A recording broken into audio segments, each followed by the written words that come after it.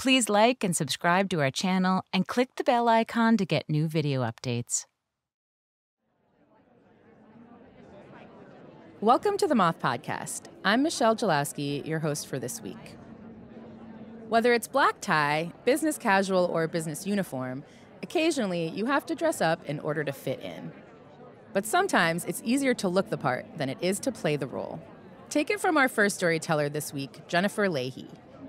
Jennifer told this story at a Grand Slam in Boston where the theme of the night was growing pains.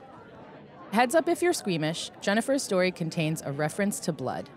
Here's Jennifer live at the Moth.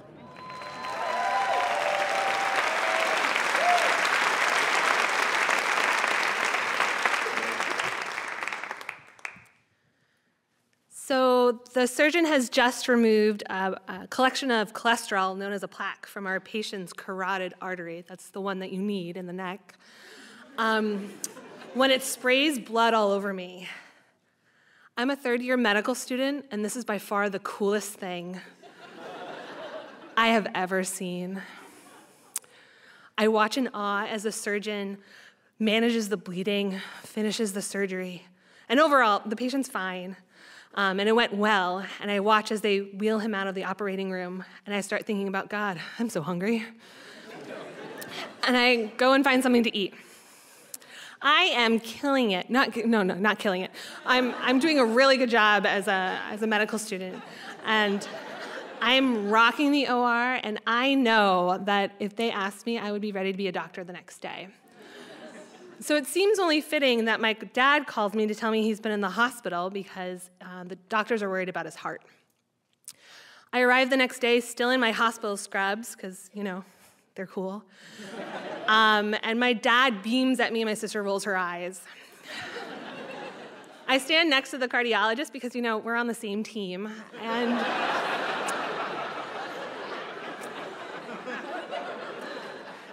and he pulls the rug out from under me as he tells me that my dad needs triple bypass heart surgery within the next week. As a student, I learn everything I can about a surgery before I go in. I could tell you the way it's done, and I could tell you the one in a million chance of a complication. I learn about the patient, I learn about medical histories and surgical histories and allergies. I actually never ask about a family because, uh, you know, it's not that I don't care, but they're just not useful for me. They're not going to be on the test. An attending is not going to ask me about them. And when I'm in the OR, they're definitely not going to help me out. They're the last thing on my mind. But as my sister and I started thinking about my dad's surgery, I realized we have a different way to prepare. We started thinking about to do lists and schedules and about the recovery period. You know, the surgery is just one day, but then I realized it's going to be weeks or months before my dad's back to his usual self. And I realized I never think about recovery. I'm just there for the day of the surgery, maybe like six hours at most, and maybe a quick high at 4 a.m. the next morning when everyone loves to see a medical student. but otherwise, I could care less. And I realized, oh gosh, I don't know if we can handle this. And then I had the conversation with my dad that I know is so important to have, but I'm not ready for. And that's what, what does he want us to do if something goes wrong? If his heart stops or he stops breathing? I've done this exercise with myself, with my medical student friends, kind of just as a class exercise, but it feels different when it's in real life. I'm listed as the healthcare proxy because, you know, I'm in the medical field, but I think, oh my gosh, I hope it doesn't come down to this. And I think I at least have some medical training, and I feel so overwhelmed. And I wonder what my patients and my patients' families think about navigating through this unfamiliar territory. It's the day of the surgery, and my dad, you know, classically makes us arrive about an hour early because he doesn't trust us to get on time. and the hospital is that quiet, you know, morning time that I, you know, typically love, but I hate right now because I could really use some noise to distract me. The anesthesiologist comes in, gives my dad something for anxiety, and I think, I could use something for my nerves. and the cardiologist comes in, I know how much he needs to get done before this surgery, and he takes the time to talk to my dad, and then he turns and talks to my sister and me. And that's something I've never done talk to the family before a surgery. And I'm so relieved and just so grateful for this grace he's shown us. My dad hands us his belongings, we say our love yous, and then he's wheeled out the door that says employees only. And I think about all the times I've walked through that door and how I'm on the wrong side right now. And I really don't like this side. The only things I've looked up about his surgery is like the short video that shows like a cartoon heart, and our circulatory system is one big loop. That's really how it is in real life, I swear. and I know roughly how long the surgery is going to take, so I know it's going to be a long day, but I am prepared. We go and get breakfast. We start watching a movie. We rearrange all the couches in the waiting room to be aesthetically pleasing. and I realize only 30 minutes have passed. In the OR, four hours can be gone in a blink of an eye. I'm like, oh, that happened. Um, but in the waiting room, you know, one minute can stretch out to be an hour. And I sit, and it's probably the one of the longest days of my life. And a volunteer comes in, and finally she tells us everything went okay. Your dad's out of surgery, and there were no complications. And a weight I didn't know I had feels suddenly lifted. My sister and I go and see our dad. He's paler than I've ever seen him. But he complains about that, you know, you know, calming chime music that they have in his room. And I chuckle, and it's a sigh of a chuckle of relief because I know that even though we have a long road ahead of us, he's still him. About two days later, I'm back in the OR on my surgery rotation and I'm prepping for an emergency gallbladder removal. I know all about the surgery, I know all about the complications, I know my patient's history, both medical surgery and allergies. And I go with the team to go wheel the patient to the operating room. And as we're leaving his room, I hear his wife tearfully say, Be careful, he's precious cargo. And I do something I've never done before I stop. The team goes through the door, and I turn to the wife.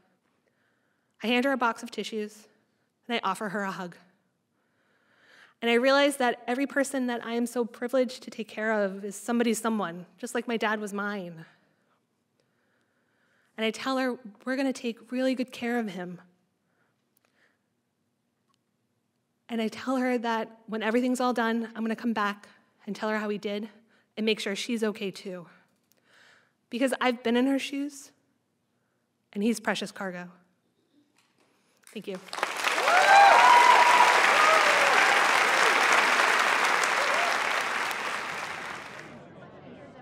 That was Jennifer Leahy. Jennifer is a family medicine obstetrical physician just outside of Boston. She is human mom to Zoe and cat mom to Kunik. On warm Saturdays, you can find them by the ocean playing in the waves. Well, at least Jennifer and Zoe. The cat stays home. To see both masked and maskless photos of Jennifer, head to the extras for this episode on our website, themoth.org/extras. Our next storyteller is Sivan Schondorf. Sivan told this at a story slam in Chicago, where the theme of the night was imposter. Here's Sivan live at the Moth.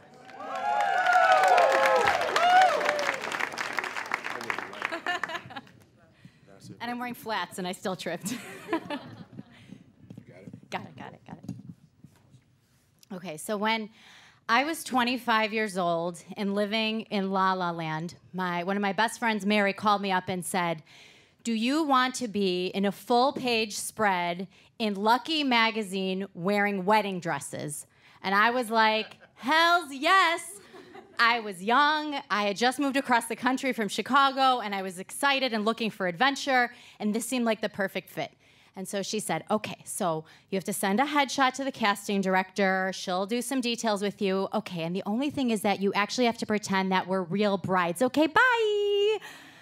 And I was like, Mary, I don't think I can do that. You know, I'm terrible at lying, and you know, I. I don't think that's my thing. And she's like, no, it'll be great. We'll be in the lie together. Nobody would care. So let's just do it. And I do believe in safety in numbers. So I thought, okay.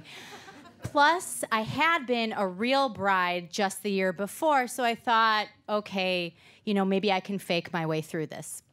So I had a phone conversation with the casting director um, a few days before or something. And she went through the details of the day with me, and then she confirmed at the end of the conversation, So you are engaged to be married, right? And I was like, Yes, I am. I'll see you there. And so that's when I realized that we were going to be at this bridal shoot with presumably other real brides, and there was going to be probably wedding talk. So we were going to need wedding dates. We were going to need backstories. We were going to need engagement rings. So the day before the shoot, I went to Claire's boutique and I got us a three pack of wedding rings. And Mary picked the solitaire and I picked the three stone. And we, the day we went to the bridal shoot, we practiced our stories for each other and we admired each other's rings. And we were really just giddy and ready for the day and it was on the famous Robertson Boulevard, and we tried on wedding dresses. We had, um, oh, that's okay. It's, you know, not going to be on the radio, I guess. No, I'm just kidding. And then we had, we had wedding dresses picked out, and we had our jewelry and accessories, and then all we had to do was wait in the wedding, in the wedding trailer, in the trailer to get our hair and makeup done, and that's when I was cornered by the most interrogated loquacious bride of all. And she proceeded to ask me a lot of questions as I got my hair and makeup done. So, when are you getting married? Oh, no date set. Just playing it by ear. Oh, how come? Well, my fiance David is in med school in New York, and so we're long distance, so we're just gonna wait till we're in a more settled state. Oh, let me see your ring. And I quickly flashed her my ring, realizing, Do you like my $2 ring? Oh my God, it looks so overly sparkly. And then she proceeded to ask me about how did he propose? And you see, having been a real bride before, that's when my unresolved issues about having had this failed engagement started to come up, and I was going to be frowned out now as a fraudulent bride again. And the thing is, I had a real wedding dress, except it was sitting in a box in my parents' garage in Chicago, and I had had a real engagement ring, except I had given it back to my ex fiance, whose name was not David, and he was not in med school in New York. And I had a real backstory, except my backstory was a lot more heartache and a lot less Hollywood glamour photo shoots. And I started getting red and perspiring, and I thought about how, you know, they say the saying, always a bridesmaid, never a bride. And it's not like my goal was to be married, but it wasn't to be constantly engaged. And I was starting to think I was gonna be called always a bride, never a wife. And I was dripping sweat and my makeup was coming off, and Mary was giving me a hold it together look. And that's when they called my name. And I went to get my modeling on. And I have to tell you, I felt very special for the day, as phony as I was, totally fake.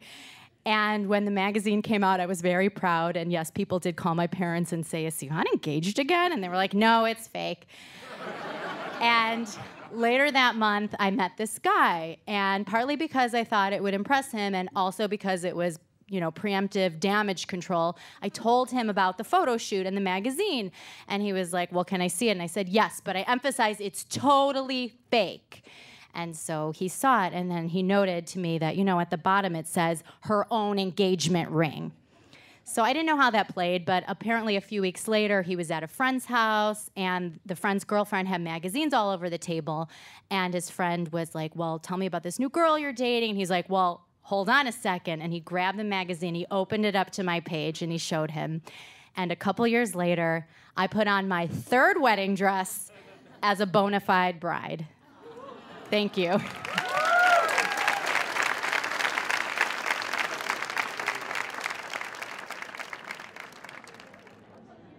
That was Sivan Schondorf.